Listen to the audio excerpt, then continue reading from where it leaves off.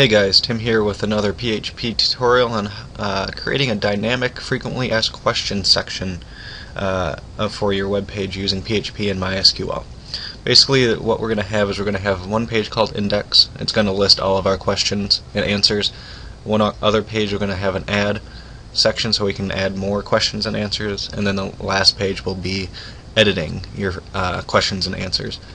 Uh, first thing we need to do is we're going to set up our database. So we're going to jump over here to phpMyAdmin, and we're going to create a new database. Database name is just going to be FAQs for frequently asked questions. Create it. Inside of there, we're going to need to create a table. We're also going to call that FAQ S with three fields. First field we're going to need is ID. Integer is fine, we'll just put 11. We're going to go auto increment and primary index. Next field is we're just going to say questions, and the next one is going to be answer. I'm sorry, questions and answers with S's. Type, we're just going to leave text just in case you go over 255. We'll just leave it for that for now. You can feel free to change that. We're going to go here and hit save. And now we have our database set up. So let's jump over here to uh, Dreamweaver and I just have the basic layout which as you can see is just what I showed you on the first screen. So let's go ahead and at the top we're going to need to open our PHP blocks and we're going to include our connection file which we will create in just a second. I'm just going to call it connect.php close off our PHP block save this just save it as index.php we're going to open up a new file. We need to create our connection file. New PHP. Wipe all that out. I'm just going to copy and paste the code from my site over here at uh, timkipptutorials.com. We're going to go down here to the study at MySQL section, connect to MySQL database using PHP, and I'm just going to go ahead and copy all of this code that's in there. Okay. We're going to go back to Dreamweaver, we're going to paste all that code in, and I'm just going to fill in the information. Localhost is what I am testing on, my username is root, I have no password, and the database we made was called FAQs. Save that, and name it connect.php. Now we can close that file out, and we can go along with our index page. So below this uh, paragraph tag right here, jump down a little bit, we're going to open and close div. We're going to give it a class of FAQ underscore holder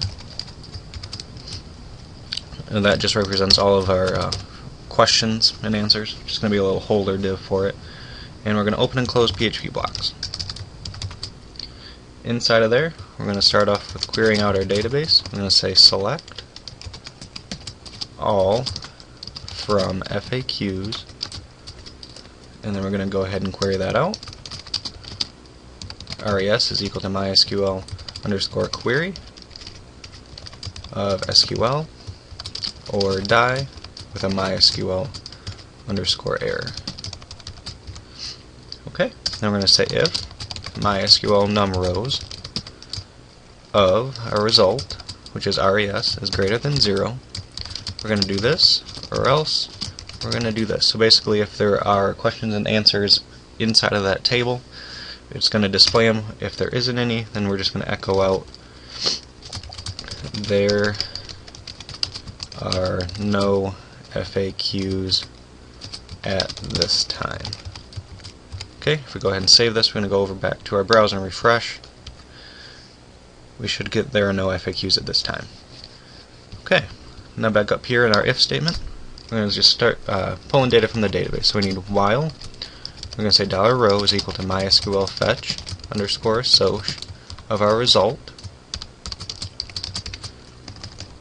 We're going to assign some local variables. We're going to call it questions is equal to the row, and then we have our questions field inside of our database. And then answers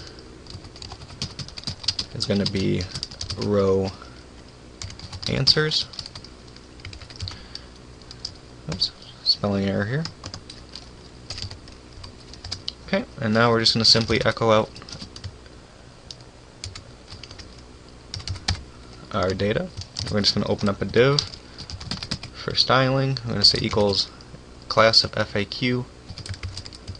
To open up a span, give that a class equal to question. And then we're going to close that span. And we're going to give it a break tag. To open up another div, say class is equal to answer. And close that div. And close the final div. Okay? Now, but in our question span, we're going to need to put our uh, questions variable. So two single quotes, two periods, just going to drop in our questions um, variable. Now inside of here with our div answers, we're going to do the same thing, two single quotes, dump in our answers variable. Save that. We will have no results, just make sure everything works. And as you can see up here, I, have already put in the links uh, to our index page for the index, and we have another one is a create.php and edit.php. So let's go ahead and create the create.php page. Save this. What we're going to do is we're just going to copy this main section up here all the way from the first div all the way to the paragraph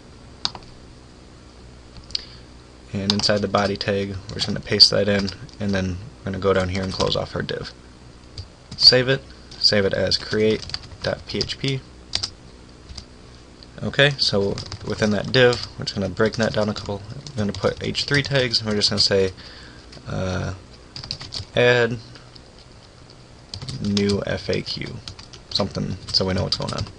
And then under that, we're going to open up an, a form. I'm going to give an action equal to create.php, the method equal to post. Close off our form.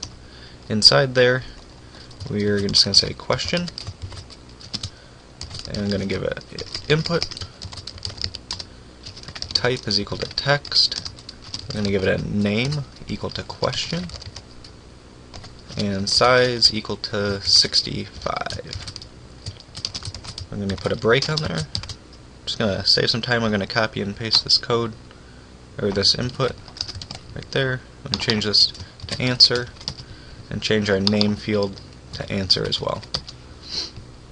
And under there actually we're gonna let's add another break here just to space it out a little more okay so then we need a input type is equal to submit I'm gonna give a name of create underscore FAQ with a value of equal to add new FAQ.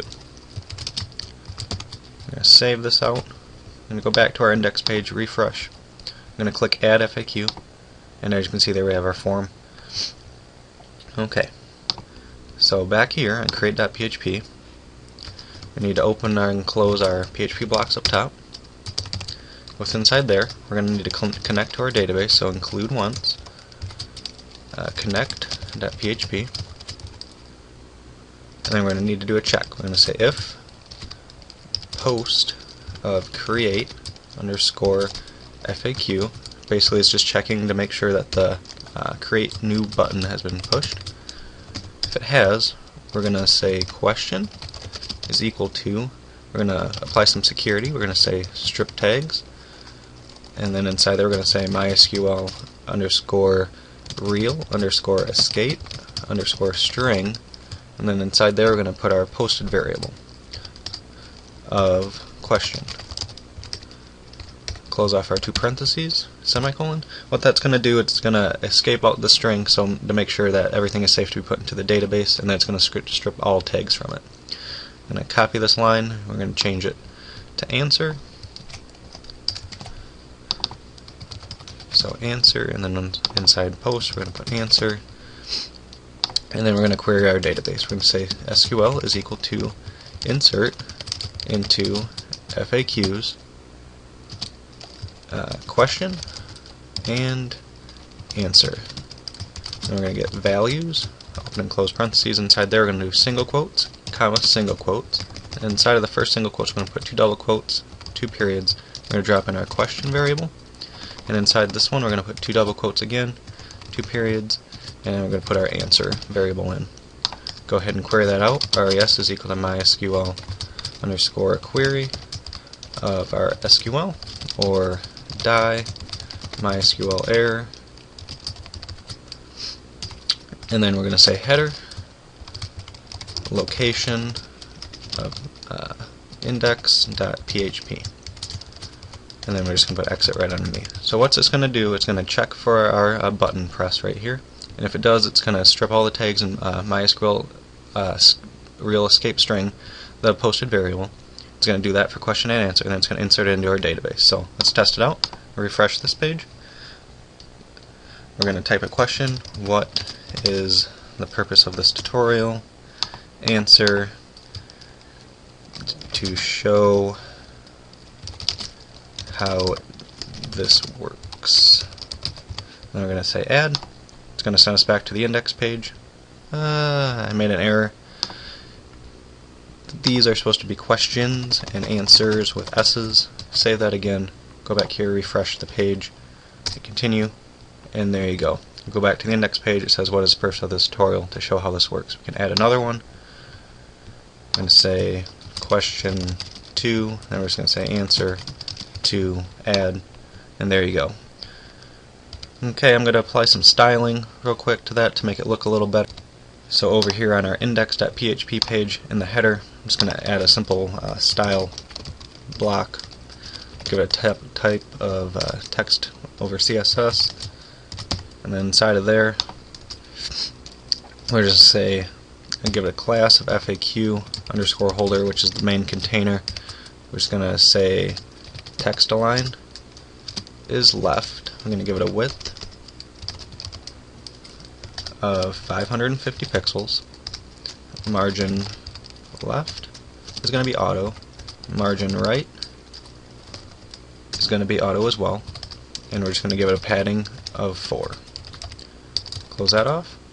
Next one we're going to do is our uh, FAQ class, which is the main container for each uh, question and answer. So I'm going to say FAQ, open that up, we're just going to say margin from the bottom will be 10 pixels.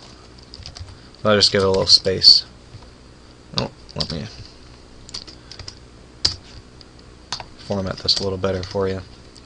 Okay, then we're going to apply some style to our each question. Let's say a class of question.